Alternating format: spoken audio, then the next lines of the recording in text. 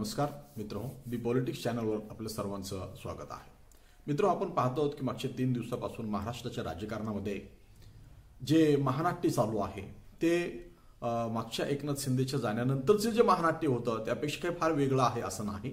आणि या अनुषंगाने महाराष्ट्रभर जी चर्चा होती आहे की शरद पवारांनी पक्षाचा राजीनामा दिला मग एका दगडात दोन पक्षी मारले असं कोणी म्हणते आहे कोणी म्हणते आहे की शरद पवारांचा हा मास्टर स्ट्रोक होता तर या सगळ्या गोष्टीच्या अनुषंगाने आपल्याला या महाराष्ट्राच्या राजकारणामध्ये शरद पवारांचा राजीनामा आणि शरद पवारांनी जे आत्मकथन लिहिलेलं आहे ज्या पक्षाचा त्यांनी उदव उदव केला जी महाविकास आघाडीचं गाठोडं त्यांनी बांधलं आणि त्यामध्ये उद्धव ठाकरेंना मुख्यमंत्री व्हायला भाग पाडला आणि अडीच वर्ष ज्याची स्तुती केली आज ते म्हणत आहेत की त्यांच्या नाकर्तृत्वामुळं पक्ष फुटला आणि चाळीस पन्नास लाखाचे खोके किंवा गुवाहाटी सुरत हे ह्यामुळं नाही तर पक्षाला ते वेळ देत नव्हते. आणि अशा पद्धतीचं त्यांचं वर्णन त्यामध्ये केलेलं आहे. आणि मी पक्षाचा राजीनामा देतो असं म्हटलं होतं आणि पुन्हा त्यांनी ते पक्षाचं पद स्वीकारलेलं आहे. पक्ष सोडणं आणि पुन्हा पुन्हा ते पद स्वीकारणं आणि पुन्हा मी अधिक जोमामध्ये भाजपच्या विरोधामध्ये विरोधी पक्षाची गठबंधन करण्यासाठी काम करणार पुन्हा जोरात काम करणार ह्या सगळ्याचा अर्थ काय होतो हे आपल्याला पाहायचं आहे. या चॅनल नव्याने तर चॅनल सबस्क्राईब करा अधिकाधिक विद्यार्थी मित्रांना चॅनल शेअर करा महाराष्ट्राच्या राजकारणामध्ये हे जे काही नाट्य आहे हे आपण लक्षात घेतलं पाहिजे कारण शरद पवार जे बोलतात ते करत नसतात आणि जे करतात ते बोलत नसतात असं एक राजकारणी म्हणून मुत्सद्दी राजकारण त्यांच्याकडे पाहिलं गेलेलं आहे ते परवाच गौतम अदानीला सिल्वर ओकमध्ये भेटलेली आहेत त्यांच्याबद्दल त्यांचं झालेलं बोलणं हे जर पाहिलं किंवा भाजपच्या विरोधामध्ये काँग्रेसनी विधानसभेमध्ये उत्तम अदानीच्या विरोधामध्ये उचललेला प्रश्न आहे त्यामध्ये सुद्धा ते मौन आहेत. म्हणजे ही सगळी बाजू त्यांनी भाजपला पूरक वागत आहेत असं दिसते आहे. आणि दुसरीकडं ते आता म्हणत आहेत की मी जोमाने काम करेन. नव्याने या पक्षामध्ये जोमाने काम करेल. जोमाने काम करेल याचा अर्थ जेव्हा शरद पवार जोमात असतात तेव्हा महाविकास आघाडी कोमात जाते. संजय राऊत तर आता कोमात गेलेले आपल्याला दिसतात. जे जे बोलत होते महाविकास आघाडीबद्दल आणि आता ते कोमात आहेत अशी अवस्था जी आहेत मग ते ते जेव्हा असं बोलतात तेव्हा जयंत पाटील किंवा अजितदादा ही सगळी त्यांच्या आजूबाजूची लोक कोमात जात असतात असा तो सगळा भाग आहे.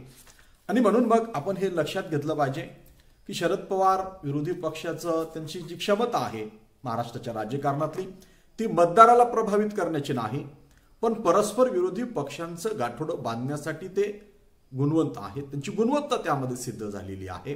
कारण एक हिंदुत्ववादी कट्टर हिंदुत्ववादी आणि दुसरा सेक्युलर धर्मनिरपेक्ष असलेल्या दोन पक्षांना एकत्र करून किंवा एक सावरकर निष्ठा आणि दुसरा सावरकर द्वेष्टा जे शिवसेना सावरकर निष्ठा आहे आणि काँग्रेस शिवसेनेचा द्वेष सावरकरांचा द्वेष करते अशी काँग्रेस अशांचं एकत्रीकरण करून ते सरकार चालवण्याचं कौशल्य शरद पवारांकडे आहे. आणि मग या कौशल्याचंच गाजर त्यांनी आता देशातल्या काँग्रेस सोडून जे इतर घटक राज्यातली प्रादेशिक पक्ष आहेत मग ते तामिळनाडूमध्ये स्टॅलिन असतील तेलंगणामध्ये राव असतील ममता बॅनर्जी असतील नितीश कुमार असतील मुलायम सिंग यादव या सगळ्यांना एक आशेचं किरण त्यांनी दाखवलेलं आहे की या सगळ्यांचं गाठोडं बांधून. पण ते गाठोडं बांधल्यानंतर ते भाजप विरोधी राजकारण करतील का? भाजपला पूरक राजकारण करतील? किंवा राज्यशास्त्रामध्ये आपल्या लॉयल अपोजिशन नावाची संकल्पना आहे. लॉयल अपोजिशन म्हणजे काय? तर हे आपण लक्षात घेतलं पाहिजे की अपोजिशन तर आहे विरोधी आहे पण तो विरोधी पक्ष हा सत्तेच्या फेवर काम करतो.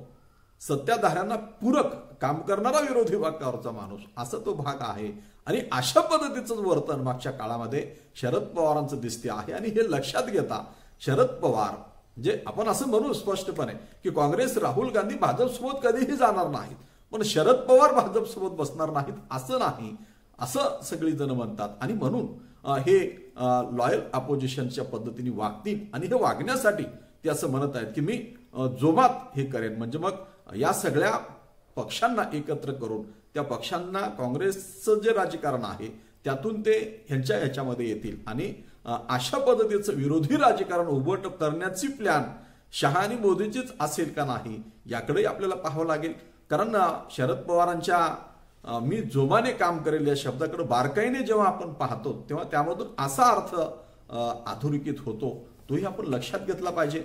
आणि या सगळ्या प्रक्रियेमध्ये अजितदादा एकटे पडल्यासारखे दिसतात. तर पहा आपण राज ठाकरे काय म्हणत आहेत अजितदादाबद्दल? ते अनेक लोक मी मागे एकदा म्हटलं होतं मी जेव्हा त्यांनी सांगितलं जाहीर केलं होतं की मी निवडणूक लढवणार नाही. त्यावेळेला मी म्हटलं होतं की पवार साहेब स्वतः विचार सांगतायत की मी निवडणूक लढवणार नाही. तुमचं काय मत आहे? समोर परत पवार साहेबच उभे आहेत. ते म्हणतात नाही नाही निवडणूक लढवली पाहिजे तुम्ही.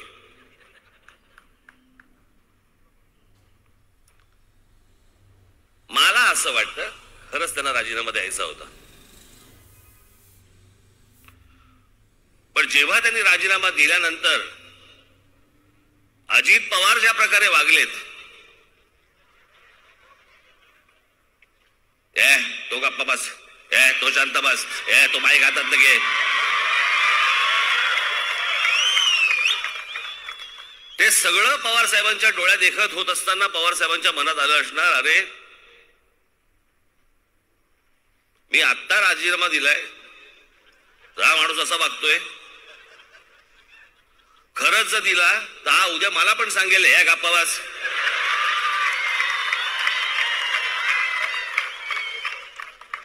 मला असं वाटतं त्या भीतीपोटी त्या भीतीपायी त्यांनी राजीनामा मागे घेतला. भानगड नको.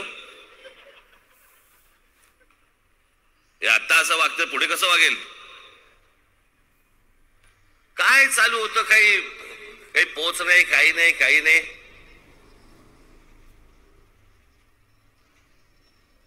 जवळपास आतून उकळ्या फुटत होत्या. की होतंय ते बरं होतंय.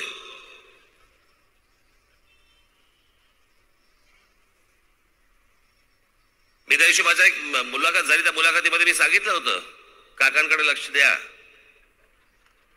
अजितदादांनी राजीनाम्याचं समर्थन केलेलं आहे. आणि त्याच वेळी जयंत पाटील प्रफुल्ल पटेल ही सगळी लोक डोळ्यातून अश्रू ढळत आहेत. म्हणजे बाळासाहेब ठाकरेंनी पक्ष सोडतो असं म्हटलं तेव्हा जी लोक जशी निष्ठावान पक्षनिष्ठ लोक अनुयायी ज्या पद्धतीने ढसाढसा रडत होती तशा पद्धतीत त्या- त्यांचीच तुलना आपल्याला करता येईल जी निखिल वागळेंनी केलेली आहे ती आपल्याला पाहता येईल.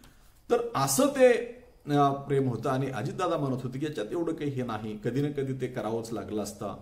आणि मग पुढं ते जे बोलले अरे थांब अरे गप दादा पादा.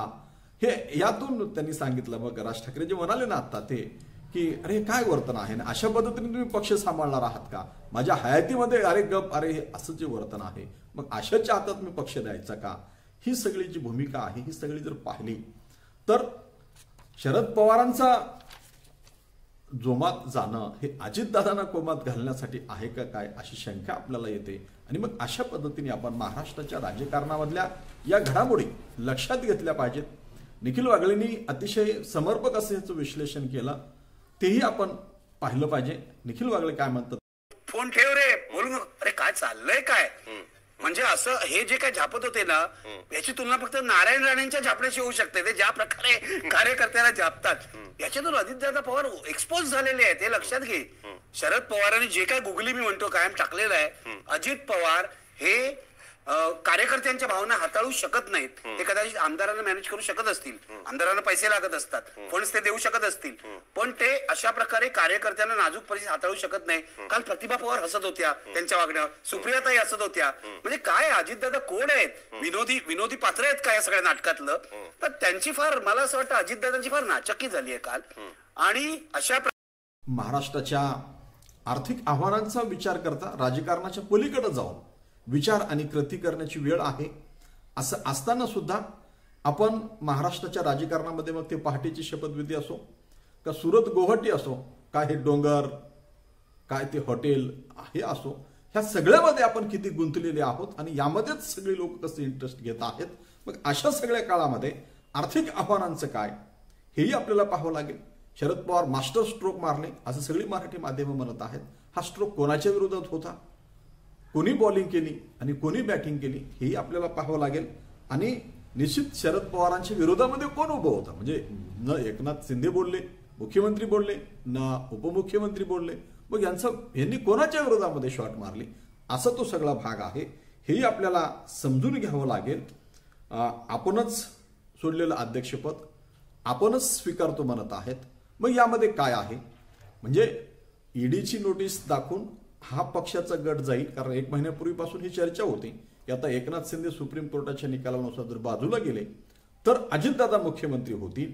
आणि मग अशा पद्धतीने पक्ष जर फुटला ईडीच्या भीतीने तर काय होईल ते टाळता यावं. आणि राष्ट्रवादी काँग्रेसला एक भावनिक साथ घालून पूर्ण राष्ट्रवादी काँग्रेस एकसंघ करता यावी यासाठी हे केलेलं महानाट्य असू शकते असंही आपल्याला म्हणावं लागेल. आणि शरद पवारांची जी गुणवत्ता आहे विविध विरोधी पक्षांना एकत्र करून राज्यकारभार करण्याची जे कोणीही करू शकत नाही ते पवार साहेब करू शकतात. आणि म्हणून हे महाराष्ट्राच्या राजकारणाच्या किती हिताचं आहे पवार साहेबांचा प्रभाव मतदारांवर किती आहे मतदार त्यांच्यानी प्रभावित होऊन इलेक्शन होते का? किंवा ह्या सगळ्या तिसऱ्या आघाडीला पवारांच्या नेतृत्वाखाली एकत्र केला तर पश्चिम बंगालमध्ये पवारांचा फोटो लावून काही मतं मिळतील का? किंवा महाराष्ट्रातल्या काही दहा जागा दहा खासदारांच्या जागा ते निवडून आणू शकतील का? ह्या सगळ्यावर प्रश्नचिन्ह असताना पवारांचं हे जे काही राजकारण आहे ते लॉयर अपोजिशनचं राज- राजकारण आहे का? अशी शंका आपल्या मनामध्ये आल्याशिवाय राहत नाही. आणि म्हणून आपण भाऊ तोरशेकरांनाही समजून घेतलं पाहिजे. निखिल वागळे काय म्हणतात हेही पाहिलं पाहिजे. आणि राज ठाकरे कालच्या सभेत काय बोलले? ह्या सगळ्याचा निष्कर्ष असा निघतो की शरद पवार हे सोयीचं राजकारण करतात. कालपर्यंत ते उद्धव ठाकरेंचं उद्धव उद्धव करत होते आणि आता ते म्हणत आहेत की पुस्तकामध्ये आत्मकथनामध्ये म्हणत आहेत की हा नाकर्ता मुख्यमंत्री होता. म्हणजे अशा पद्धतीने ते सुरुवात एकाने करतात आणि त्याचं शेवट दुसऱ्या अंगाने करतात आणि म्हणून ते बोलतात त्यावर न जाता ते काय बोलत नाहीत यावर आपल्याला लक्ष द्यावं लागत असते. त्यांनी जेव्हा मी पक्ष अध्यक्षपदाचा राजीनामा देत आहे असं म्हटलं तेव्हा नव्याने टोकून लोकांना वाटलं की ते राजीनामा सोडून दुसरं सगळं करतील राजीनामा देणार नाहीत आणि ते अध्यक्षपद सोडलं आणि ते अध्यक्षपद त्यांनी पुन्हा घेतलेलं आहे. म्हणजे हा पक्षातलाच भाग आहे पण यामध्ये अजितदादा एकटे पडल्यासारखे दिसत आहेत. कारण अजितदादा जे बोलले जे आपण पाहिला सुप्रियाताई काय म्हणत आहे ते कसे हसत आहे ते अरे गप अरे हे असं जे ते बोलत आहेत. यातून त्यांचं हे लक्षात येते पुढचं राजकारण काय आहे ते. म्हणजे अशा पद्धतीने महाराष्ट्राच्या राजकारणामध्ये म्हणजे आर्थिक आव्हानं अधिक असताना सुद्धा त्याकडं लक्ष न देता म्हणजे राजकारण अशा पद्धतीने जर होत असेल तर जनतेने सुद्धा हे बघितलं पाहिजे की लोकशाहीमध्ये जागरूक जनता हाच लोकशाहीचा खरा आधार आहे. आणि तो आधार जर निद्रिस्त असेल तो आपली मतं नोंदवत नसेल तो आपल्या भूमिका मांडत नसेल तर लोकशाहीचा हा जो सांगाडा आहे तो आथून कोकरला जातो. वोंगो नावाचा व्यंगचित्रकार असं म्हणतो की लोकशाहीचा हा जो सांगाडा आहे तो आतून कोकरला गेलेला आहे आणि तो केव्हा ढासेल? पत्त्याच्या बंगल्यासारखा ढासेल. आणि असं जर होऊ द्यायचं नसेल तर सामान्य जनतेला सामान्य नागरिकाला मी भारताचा नागरिक आहे मी महाराष्ट्राचा नागरिक आहे आणि मग महाराष्ट्राच्या बेकारीचा जो प्रश्न आहे तरुणांच्या महाराष्ट्रातले जे प्रश्न आहेत या आर्थिक प्रश्नांचा विचार आपल्याला करावा लागेल आणि तो राजकारणाच्या पलीकडे जाऊन करावा लागेल. नवं शैक्षणिक धोरण येते आहे. शिक्षणाचे अनेक प्रश्न आहेत. ते कशा पद्धतीने राबवल्या जाईल? शिक्षण कशा पद्धतीने मिळेल? शेतकऱ्यांचे प्रश्न आहेत. या प्रश्नावर आपण लक्ष केंद्रित करणार आहोत की नाही? कारण महाराष्ट्राच्या राजकारणामध्ये एक पुरोगामित्व होता. फुले शाहू आंबेडकरांचं नुसतं नावच घ्यायचं का? राजश्री शाहू महाराजांची काल आपण जी पुण्यतिथी केली. शाहू महाराजांनी कशा पद्धतीने म्हणजे राज्यकर्त्यांना जर शहाणपण आला तर सुधारणा कशा होतात याचं ते उत्तम उदाहरण आहे. त्यांनी आरक्षण दिलं त्यांनी सक्तीचं शिक्षण केलं हे वसतिगृह काढली. त्यांनी स्त्रियांना पुनर्विवाहाचा कायदा केला बालविवाह बंदी केली. ह्या ह्या सगळ्या सुधारणा शिक्षणाच्या शहाणपणातून येतात. बाबासाहेबांना शिक्षण घेण्यासाठी पुढे जाण्यासाठी अं, आर्थिक अडचणाही लक्षात आल्यावर त्यांनी ती मदत केली. हा सगळा जर भाग लक्षात घेतला तर राज्यकर्ता शहाणा असणं आणि राज्यकर्त्याचं शानपण हेच खऱ्या अर्थाने राज्याच्या विकासाचं कारण ठरते हे आपण लक्षात घेतलं पाहिजे. आणि त्याचं शानपण हे नागरिकाच्या जागरूकपणावर अवलंबून आहे. नागरिक जागरूक असेल तर तो शानपणाने वागतो. आणि म्हणून आपण जागरूक असलं पाहिजे आणि ह्या सर्व प्रश्नावर आपण लक्ष केंद्रित केलं पाहिजे. धन्यवाद. जय हिंद. जय महाराष्ट्र. आज आपण इथं असतो